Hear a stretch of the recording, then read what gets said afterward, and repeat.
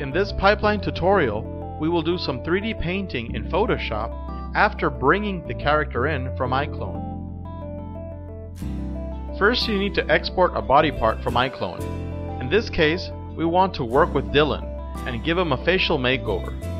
So we remove the hair to better see our results later on.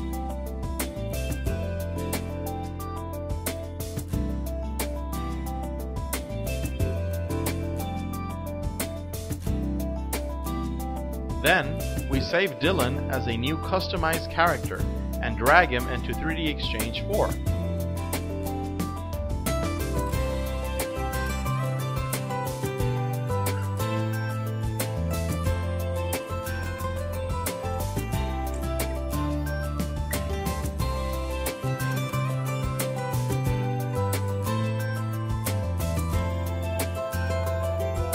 There, we will select the face and export the mesh as an OBJ file as well as the texture maps.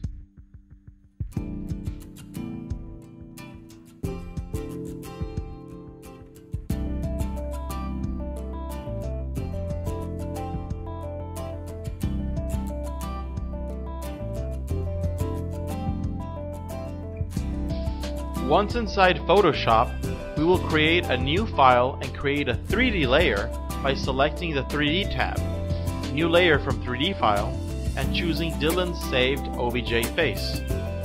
One thing to mention is that not many people know that you can now do 3D paint in Photoshop. Here, I will just examine the face with the navigation tools to make sure everything is in order.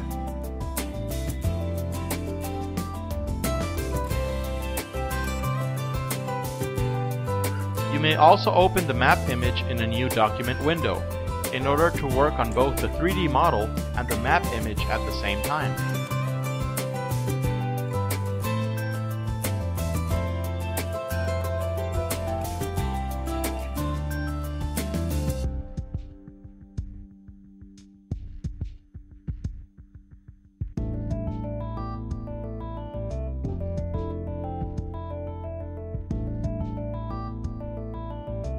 Next, you can start painting on your model.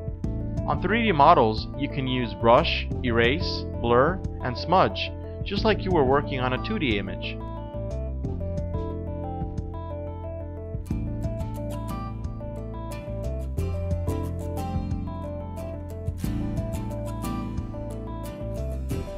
You can also change the 3D paint fall off setting to define how the brush will work on the model in respect to the surface normals. Just reset the defaults and change the minimum angle to 30 and the max angle to 90.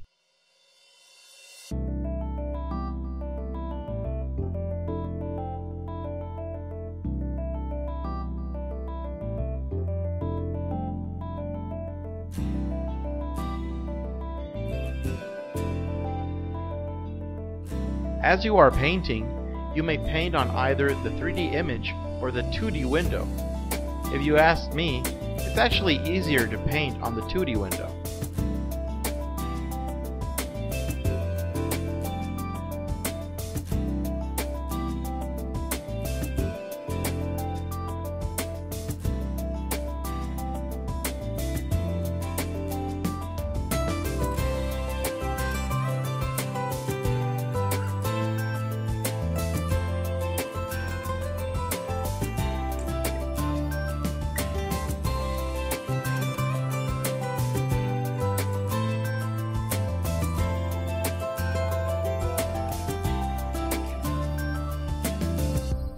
Next, I start to manually add my design.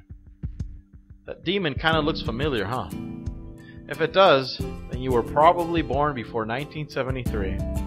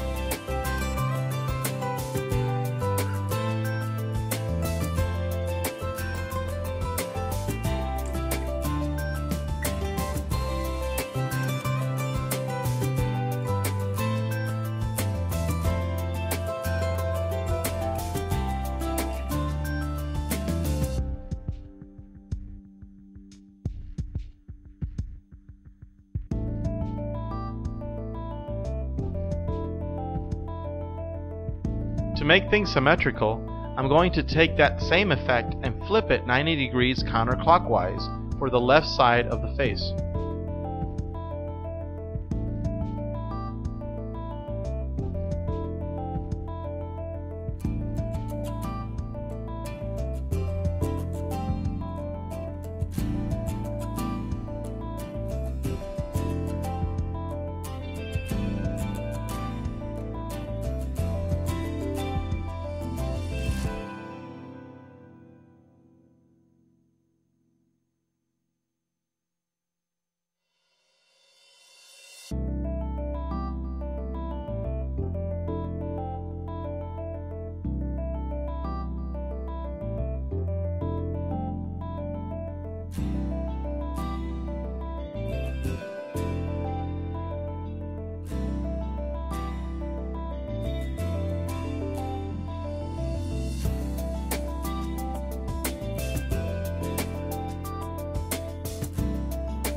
Here, I am also going to stamp on a pattern to further customize.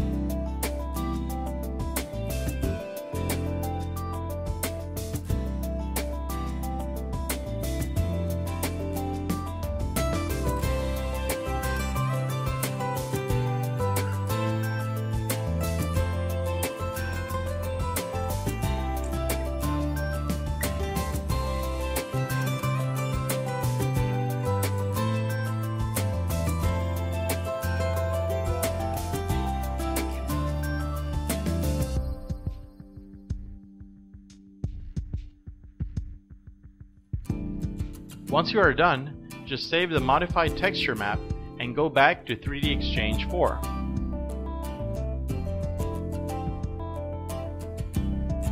Inside 3DXchange 4, just replace the facial map and examine the results.